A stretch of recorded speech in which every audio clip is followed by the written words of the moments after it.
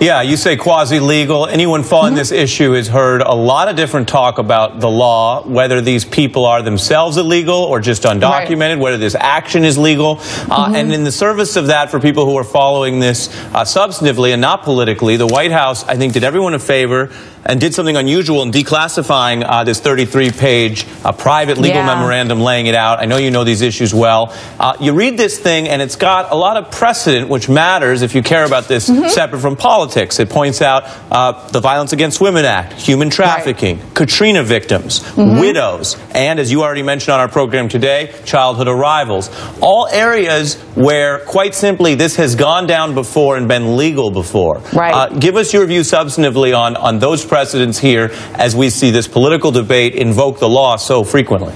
Yeah, and, and I think that that was a really great thing for the Justice Department to do. Uh, it, it's really clear that the White House is, is trying very hard to be preemptive in its rebuttal to the Republicans who say that he is acting illegally.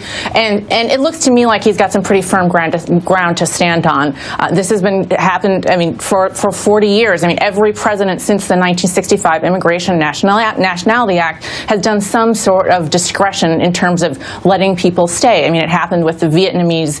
Uh, boat refugees. It happened with the Tiananmen Square Chinese uh, dissidents. It happened with uh, Cubans who were crossing in a boat, and some of those guys had been just released from Cuban jails. I mean, this is our, our history is is wrought with this kind of um, immigration. I guess you could call it discretion.